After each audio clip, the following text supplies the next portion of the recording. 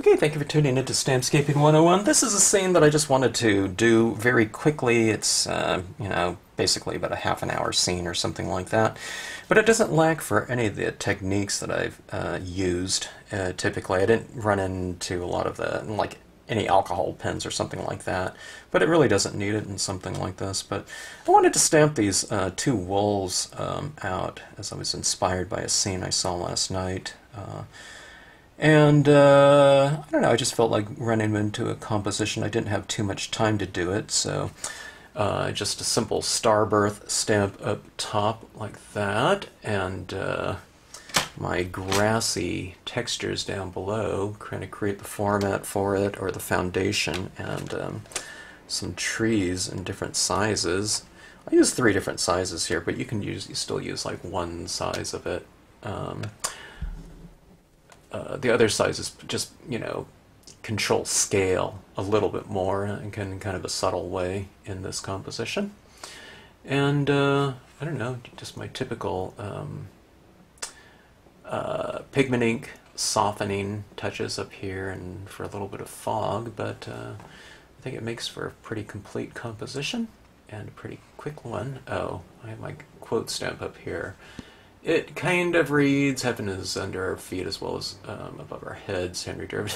i didn't have it dark enough up here. If i made it kind of darker it would have stood out more so it's more kind of subtle but i like the interplay of text and copy within um, scenes and visuals and artwork in general. Um, i like really like typography and the use of it so. Anyways that's stamped in there and uh, like I said, a pretty quick scene. We can call it kind of like almost like speed stamping. Anyways, choose to watch the video. I hope you enjoy it.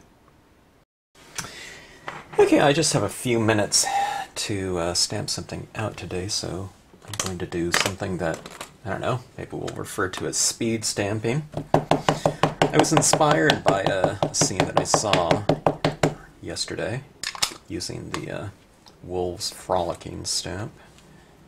And uh, I don't know, I, I, that happens all the time. I see someone's scene and it inspires me, uh, the way they've used an image, um,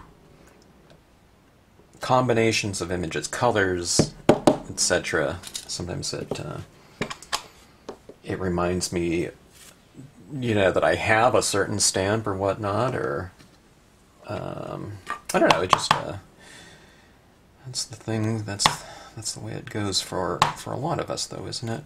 We're very visual, and um, I don't know. It just something piques our interest, and we want to try it. So, anyways, I'm not replicating the uh, the imagery, but um, I will use the stamp in here. I just did the wavy grass right down here and the sedge fill. I'm doing this little um, hill like that.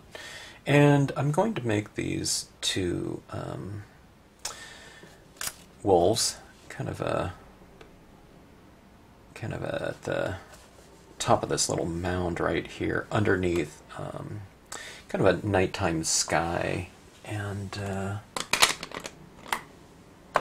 uh, that's the concept. That's what I have in mind. And, and I want to do a, a field of like um, forget what they call them. I don't know if they're forget-me-nots or paper whites. I, I can't remember the name of that uh, type of flower, but kind of these illuminated blue, I mean, uh, white flowers at, at nighttime. So uh, let's go for something like that, or that something in that spirit. I'm, I'm doing these um, kind of spring scenes um, lately with, with blossoms and whatnot, but um, we can do something with um, kind of the same spirit, but just at a different time of day. But you know, the color of white would naturally be very um, illuminated and uh,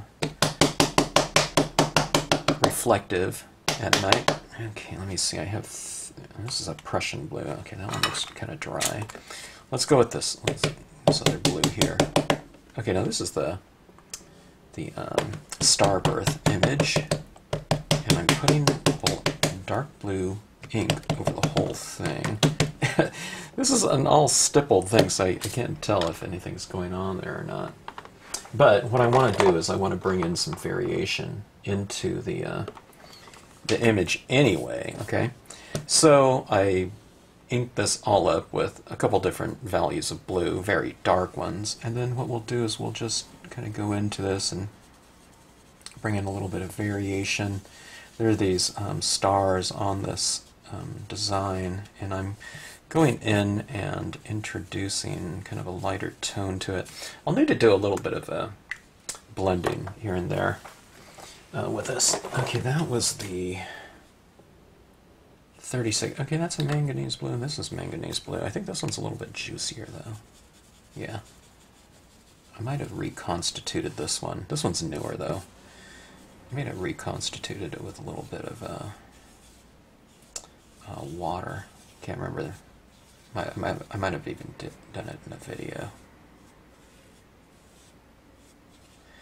Okay, so adding this in, kind of in a little bit of a pattern, but you can do it completely, you know, more abstract and just, you know, color anywhere too. All right, now let me go back with this darker blue um, pad, and then let's try this again. Just kind of blending it out a little bit.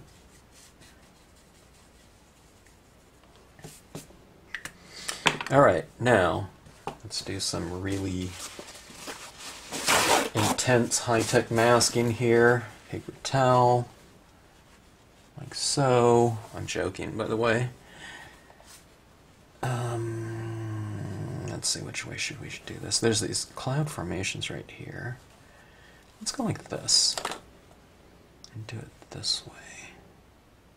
A little bit of an angle. I mean, with deep space imagery, you can kind of stamp it whatever way you want, but eh, you know, when it was conceived, there was a bit of a, uh, on this image, kind of a top and a bottom type of thing. But, that being said, changing the, um, kind of the angle of it sometimes um, creates a little bit of a, kind of a dynamic, um, kind of a appearance to it. It, having things on a slope or on a slant can give, you're seeing a little bit of a, what I call uh, visual kind of a momentum, uh, movement, you know, certainly.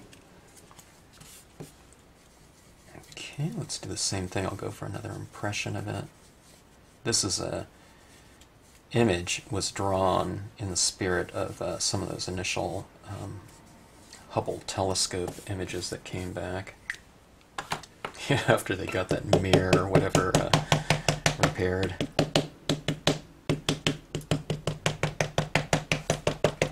What a pain that was. I forgot what the reason for that was, but um, some great uh, uh, imagery has come back from that. Okay, so that. Let's mask off again. Let's see, let's change this up a little bit. Let's go like this.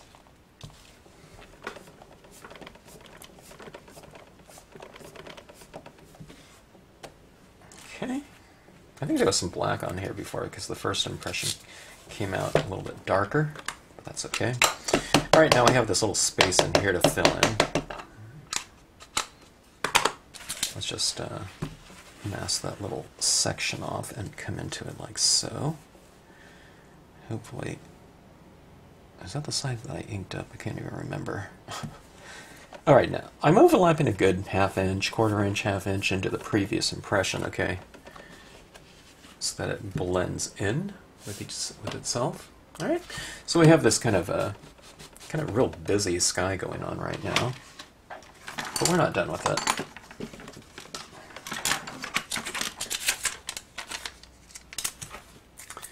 Okay, now let's give um, a little bit of, of, or a lot of structure to that sky. All right, so let's start off with some a light blue of some sort, or a medium blue, since this is more of a kind of a speed stamping um, exercise that I'm going through, that I'm go going to be going through here. Now, you always see me start off with this kind of slathering of tone, but with an image like this, you know, I mean, if I get a kind of an oval shape out there, it really doesn't show up very well, you know what I mean? So I don't have to worry about that. It's when you're kind of going on with a kind of a dry piece of paper in a vast field, you know, you have to kind of be careful about your application technique, but when the design is as busy as this one is right here, I don't really have to worry about it. I can really apply freely in terms of my technique. In other words, I don't want to get oval shapes everywhere, you know, and like a blank piece of paper, but this one is hardly blank. It's very full. Now what I am doing is I'm retaining the lightness of um, value on a lot of these stars up here because I want those stars to be nice and um, light and really stand out. So I'm kind of taking my tone, blending around it. This is a stylus tool, by the way, but you can use any kind of a, you know, a brush applicator. I don't know how many there are out there, but um, or just an ink applicator of your choice. Okay, there, there's different types out there. This one's very good because it's very absorbent and it holds ink. Okay, so I'm getting a good saturation of ink in my applicator, and I'm applying it down like that. It works a little bit differently if you're doing it on uh, glossy photo paper. Photo paper has an emulsion coating that is designed to dry very quickly, so it kind of grabs your ink and absorbs it a little bit faster. If that's the case, you can use a re-inker and get a lot more ink in here so that it spreads out um, a little bit further, you know, before you have to re-ink it, okay? The more absorbent the paper is, the faster you're going to be utilize, yeah, using it off of your application device, tool, whatever, tip. Okay, see, suddenly we have our kind of lighting scheme working in here. I've left a little bit of light on this mountain right here, so that's, uh, or this uh, hill. So that's the difference between lighting and just coloring, okay? This coloring for lighting means that you retain some of the lighter areas instead of coloring in the whole thing like a you know, like an outline image in a coloring book or something of that sort. So just be a little bit more selective, and instead of just coloring in this whole field of sky, I'm retaining some of the light up there. It doesn't matter what you do, or where you do it, just as long as you kind of oscillate the surface a little bit between light and dark, okay? Now that's easy enough, and the other colors that I'm going to use on this now, my darker blues, I'm going to do the exact same thing, okay? Use any type of dye-based inks. I'm using my Marvy ones because they're fairly juicy. I, re-inked them, I don't know, a month ago or so. I don't need to re-ink this too often at all.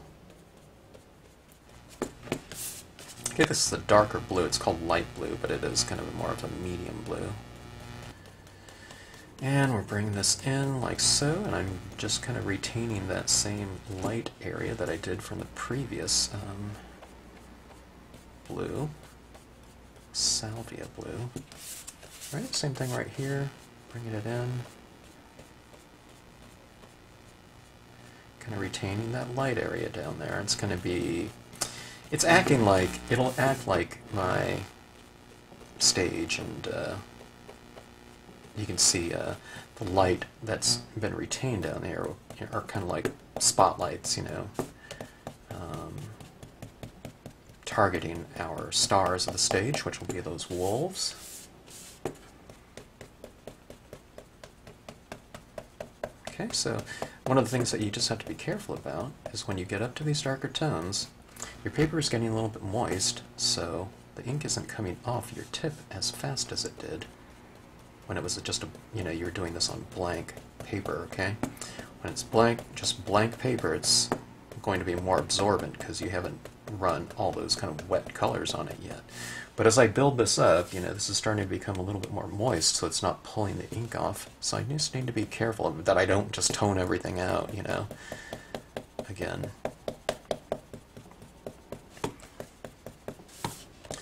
Okay, that is that color right there. That was the number 10 blue, and let's go back up to the color that I stamped my Starbirth. Okay.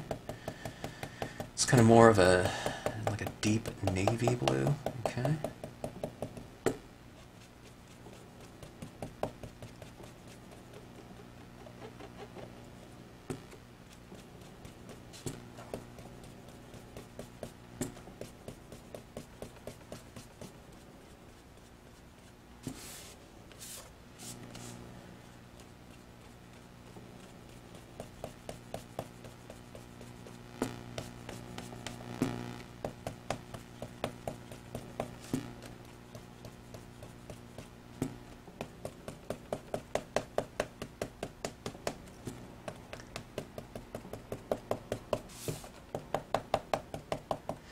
The darker you take areas within the scene, the lighter the light areas will seem by contrast. So if you retain some of those light areas, the darker you take other areas will kind of pop out a little bit more by contrast.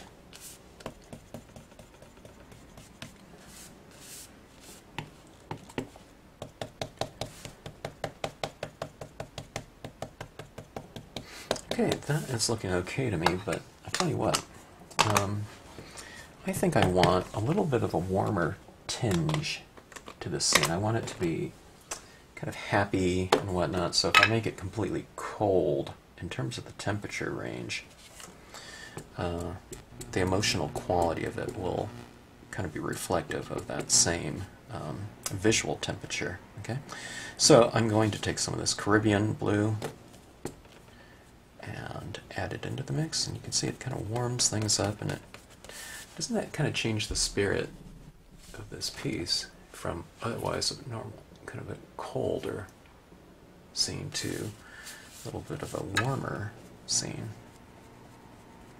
Or I don't know if it's a warm scene; it has elements of uh, warmth in it, and by doing so, I think the spirit of the piece kind of is altered a little bit. Doesn't necessarily make it the opposite, but it alters it, I think.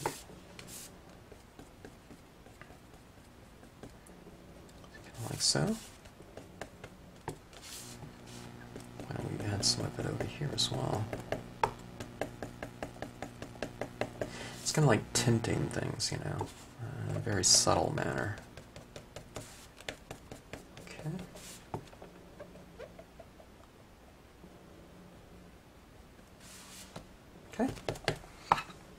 Why don't we play around with hue a little bit more? Um, let's see what might be time to clean off my tools again. Uh-oh. It's looking really... Uh, this has a little bit of green on it. Let's try that. That's kind of nice. It has that glowing kind of like glow in the dark green now. I don't know what color was on there. It was some green from one of the previous scenes.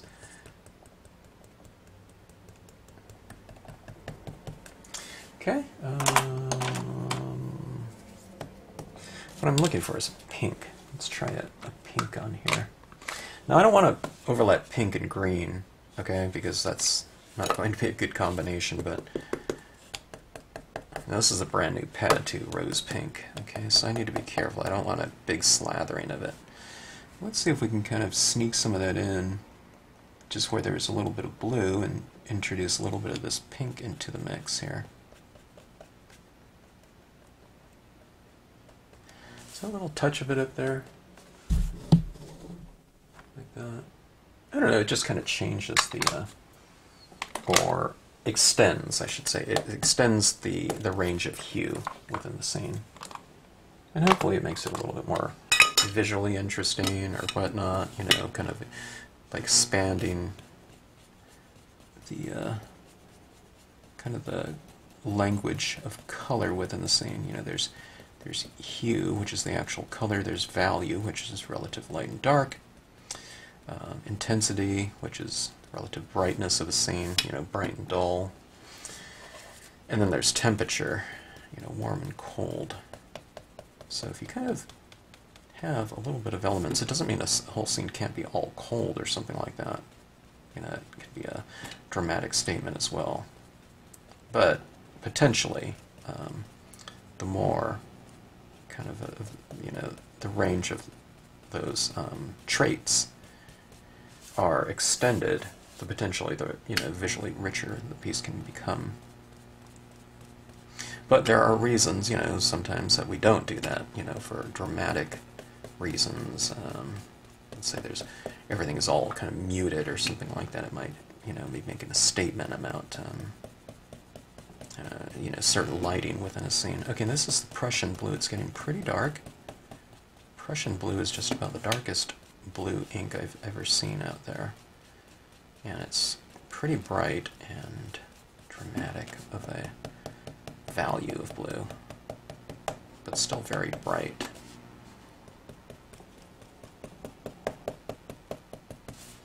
Okay.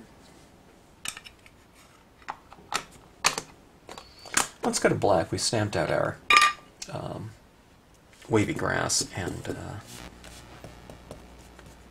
ooh, that is very juicy. I forgot that I re-inked my black pad.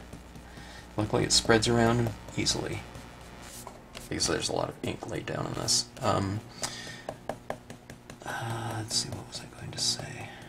I forgot what I was talking about. I interrupted myself. Oh, I stamped out my grasses in black, so I'm bringing that uh, element into the shading, okay?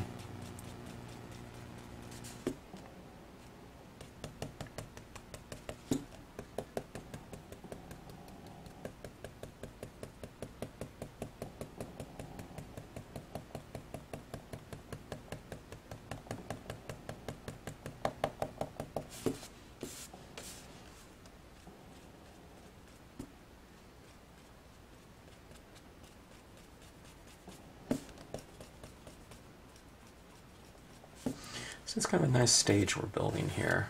It's um, really uh, kind of a dramatic um, space there for our two plain wild dogs. They are available on the canine plate or sold a la carte.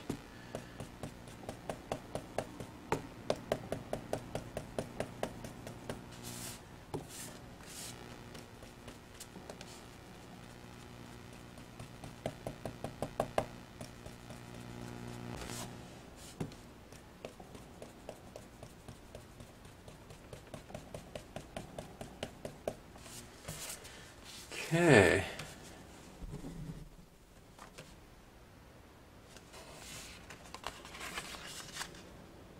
Counter is starting to bend a little bit.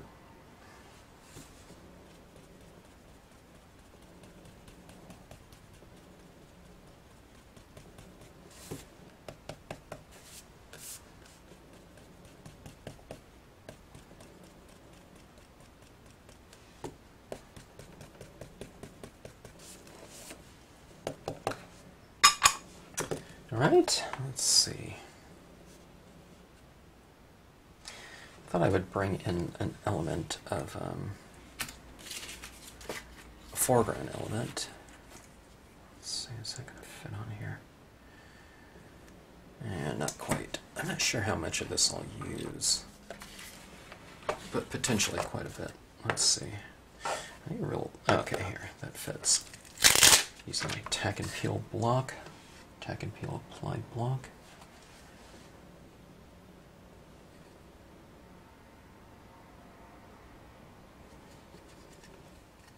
And peel just is a sticky thing you put on your acrylic block in which it allows for a temporary mounting of your unmounted stamps.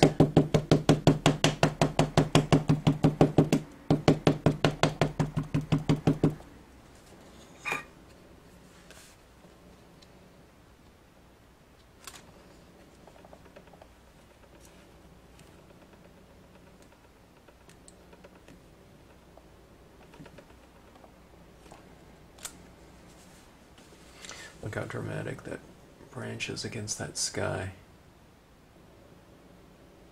Almost looks three dimensional.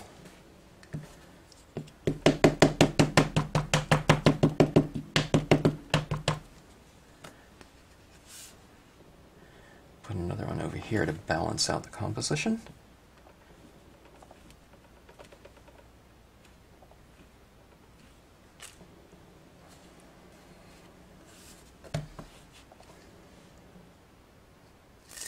That's the leafless pines medium. Um, let's use the larger one as well. I'm not bothering to, uh, you know, tack it on down there because I'm just going to use the top. It's, it's of course looking too symmetrical here. I'm going to do this um, lesson on dramatic balance and imbalance sometime. But not on this scene right here.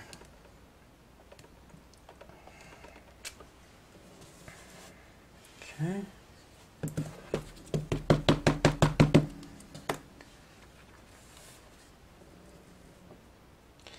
Just use the top portion right here. Okay. I mean, I could have used that same one over there. This one's just a little bit larger. Just for scale. It's subtle. Unless I use the whole, you know, the whole thing, you know, next to each other.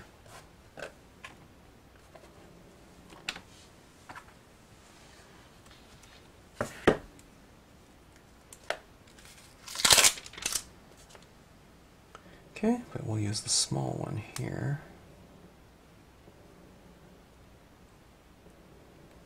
Up on the hillside.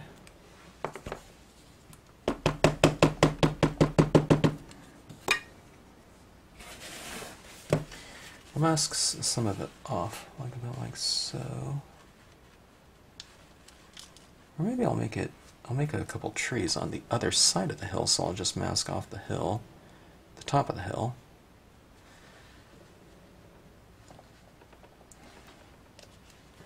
Like that, okay.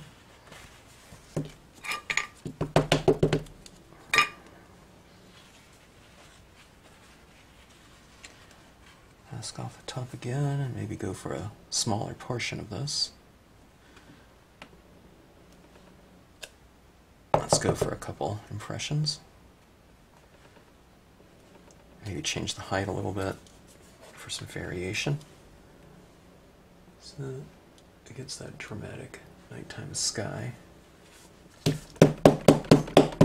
Apparently, uh, there was a fire that came through this scene, or this location of this scene. Probably a, by a, a year or two with the, uh, the amount of growth there on the, the grass.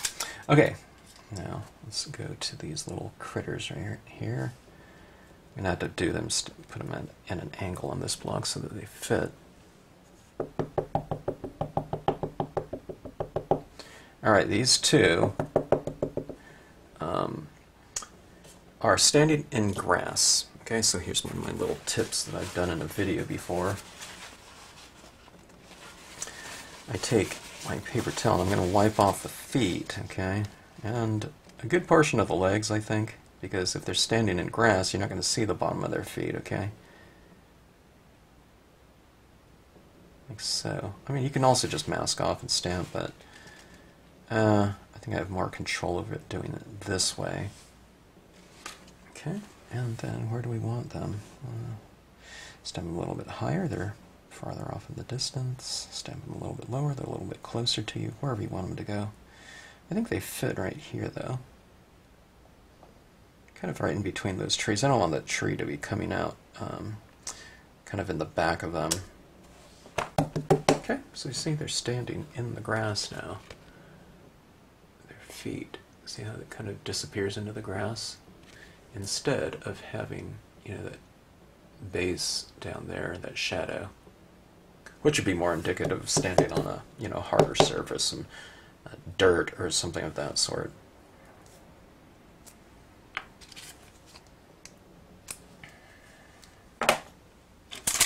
Alright, I need to put this on here, even though my desk is reasonably organized right here and clean. Uh, I lose, lose these uh, plastic things. I always find them, but I, know, I have to kind of look around for them if I don't kind of put them back on right away. Okay, so, well, let's see. Let's get a little bit of extra texture in there. Even this grass, I mean, it looks okay. But sometimes I like a little bit of extra texture in my grass. This is tiny pebbles right here.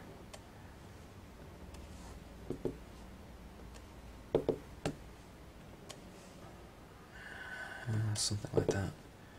I'll put some of this out in the shadows as well. It's just it's just kind of an extra textural element. And I love texture. In scenes, it takes on kind of a little bit more of a kinesthetic quality, um, visually kinesthetic, not physically, because they're all just two-dimensional. Because you could do embossing or something like that for the imagery in the foreground or whatnot, so that it's actually raised, which would be interesting. All right, so let's see, where are we in this one? It's about 28 minutes and a half an hour for this scene so far. Moving along pretty quickly. Okay, I have my gel pen, I love doing these types of little elements in here. Little stars.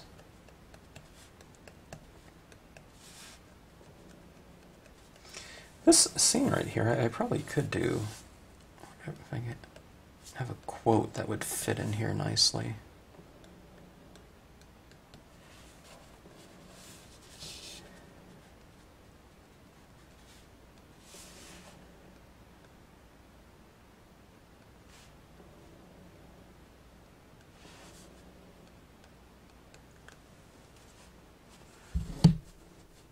A little squiggle there that I don't like too much. I kind of did a little accidental scribble there, but I can just kind of rub that ink right off and it comes right off.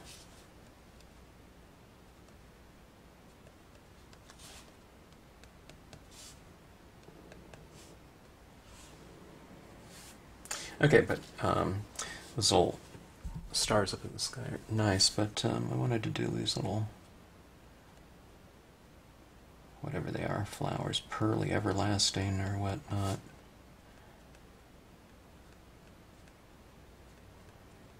And I'll kind of cluster them. It, it kind of makes a connection between, you know, land and sky, right? Because it's, we have this same convention of this white dot up in the sky, and it represents stars. And then we have it down below, and it represents, well, you know, flowers, or it could be illuminated um, dew on the grass, whatever, you know.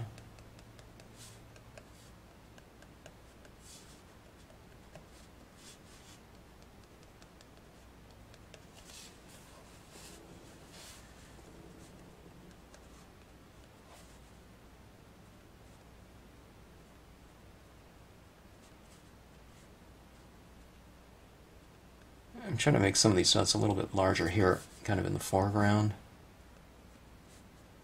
Nothing too extreme, but I'll kind of make them kind of smaller in the background, kind of pushing depth again. So I have these little guys kind of frolicking through the, uh, the meadow at night.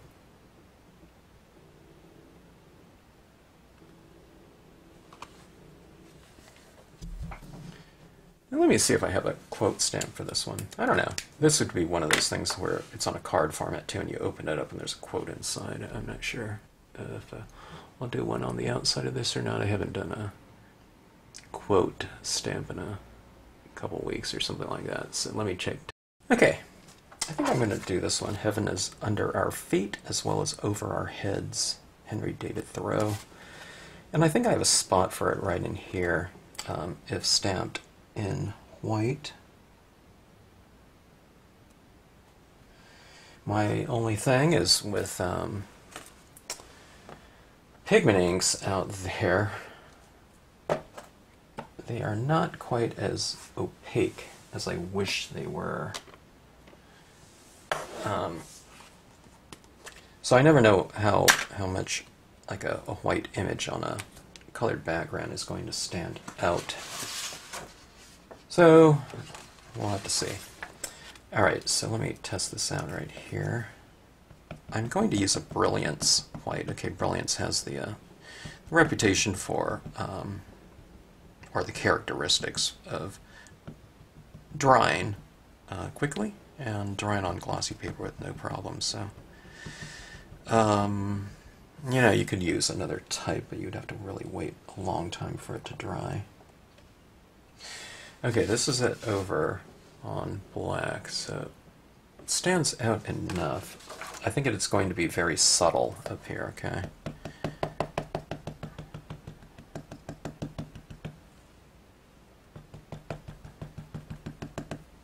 Trying to make sure that I have a good even coverage of ink on this.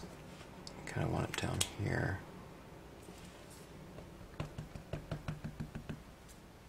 It's a lot easier to stamp these quotes if it we're stamping them in dye-based ink. Pigment ink works too, um, but just have to make sure you get a good even coverage of it. Okay, this camera's right in my face here, so I can't kind of see over this.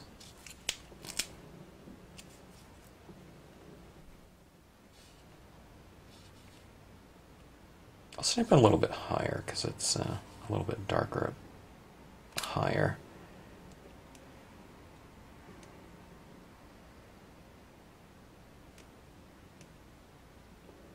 This quote kind of stood out to me a little bit because I was just mentioning um, kind of wiping off the, the feet of the wolves and that they're kind of sunk into the grass. It seemed um, kind of appropriate. And then we have the, the nice stars above. Okay, so it's very subtle. I could have made it a little bit darker and it would have stood out more. But it's it's invisible because I, I meant it that way. Not really. I mean, we could emboss that too. Um, but anyway, uh, let me see. Let me put a few more. Oh, one of the things I was looking at down here that would look kind of nice is kind of some green here. Maybe. Uh, let me see if this stands out. It doesn't stand out too much. Let me go with the lighter one.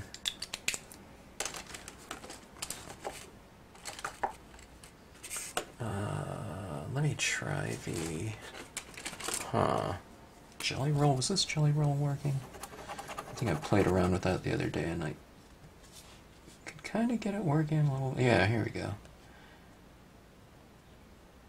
But this color is in the mix, so kind of that lime green, so I'm putting some of these flowers down here as well. So kind of just going for a little bit of a textural addition in color that is already in the color scheme, so it should harmonize with everything no problem. I guess I do have pink up there, but I don't I don't think I'll put pink down here. I think it'd be too much. Looking at some other colors, eh, I think that's what I'm going. This is a yellow.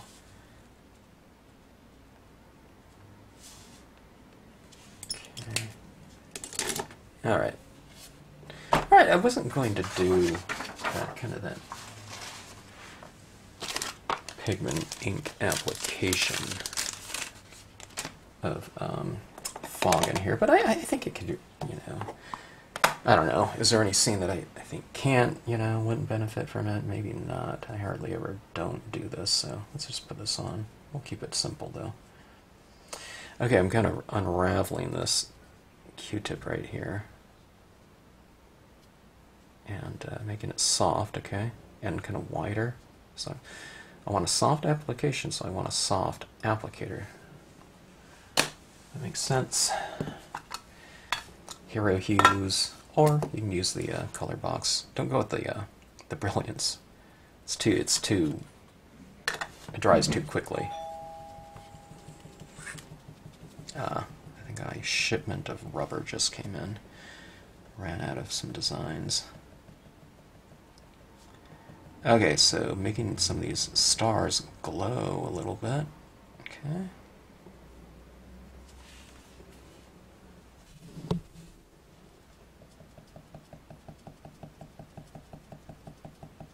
gets a little bit more these atmospherics in here.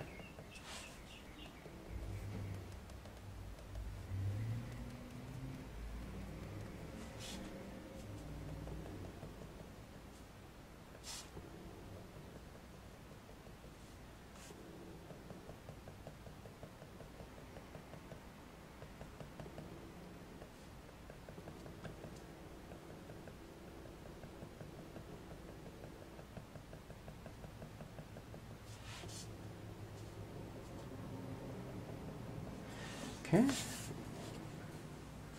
There. And let's bring a little bit of this kind of this atmospheric condition into our meadow a little bit. Put a little bit of a fog at the base of these animals. So, base of a tree makes it a little bit less kind of harsh. We want crisp, but um, it's kind of fun to soften it up a little bit. It doesn't blur it out, but it just it makes it a little bit less um, um, of a contrast between that black and the surrounding area. Like that and it varies the impression. See that right there? So it says it's, just kind of a low line fog down there. Right around here and here and then you hear these have these stars kind of in the sky that are kind of glowing a little bit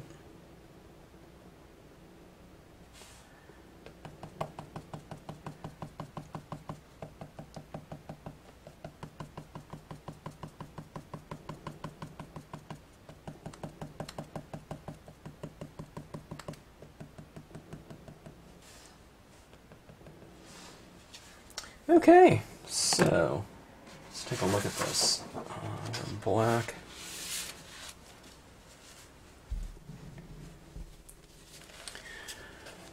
Fairly quick scene, but it doesn't lack for anything or any of the techniques that I typically bring into at least the you know the glossy cardstock type of look. We can build a scene fairly quickly and color it and finish it off the only thing I haven't done is format it into a card format. I'll usually throw like a double mat on it or something like that. But as far as the actual stamping of it goes, you know, pretty quick here. Doesn't take too long, you know, and I had to go and search for some stamps that I was going to use. I didn't even know what I was going to use on here beyond kind of the starbirth wolves and this grass down here. The trees were kind of a little bit of an afterthought, but you could have done all kinds of things. Could be pine trees, could be uh, deciduous trees or whatever. These ones are simple to do and they create, you know, kind of a nice foreground without obscuring too much of the background. In fact, having this tree next to like a star like that, they complement each other, right? They play off each other by having something dark against something light, something close, and you know, near and far. And um, in this case, I kind of softened off those stars a little bit with a little pigment, so it's kind of plain crisp against soft or something like that, you know, hard against soft. So a lot of uh, contrasts like that. Anyways, hope you enjoyed the scene. Thanks for tuning into the channel. And as always, happy stamping.